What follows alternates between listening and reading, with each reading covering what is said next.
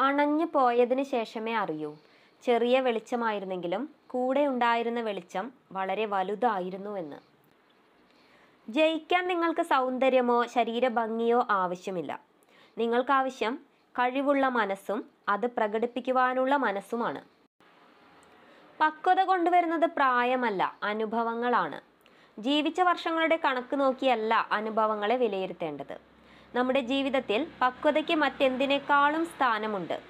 പ്രായത്തോടൊപ്പം വിത്തിട്ട് പക്വത വളർത്തിയില്ലെങ്കിൽ കെട്ടിപ്പൊക്കി എന്ന് നമ്മൾ അഹങ്കരിച്ചതിന്റെ അകം പൊള്ളയായി ഒരിക്കൽ പൊട്ടിത്തകരും.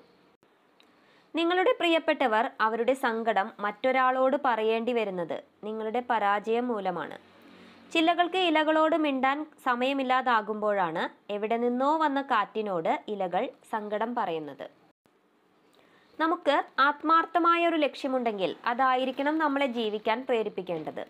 ലക്ഷ്യത്തിലേക്കുള്ള വഴികൾ ഒരുപക്ഷെ നമ്മളെ ഭയപ്പെടുത്തുന്നതായിരിക്കും അല്ലെങ്കിൽ നമ്മളെ ഭയപ്പെടുത്തുമായിരിക്കും. എന്ന് വെച്ച് നമ്മൾ പിന്മാറാൻ നിന്നാൽ എല്ലാ കാലവും അങ്ങനെ ഭയന്നോടുകയുള്ളൂ. ഐസ് കട്ടയുടെ വിലയുള്ള ഭയമെന്ന വികാരം മൂലം വജ്രത്തിന്റെ വിലയുള്ള നമ്മുടെ ലക്ഷ്യം നഷ്ടപ്പെടുത്തി കളയരുത്. Have A nice day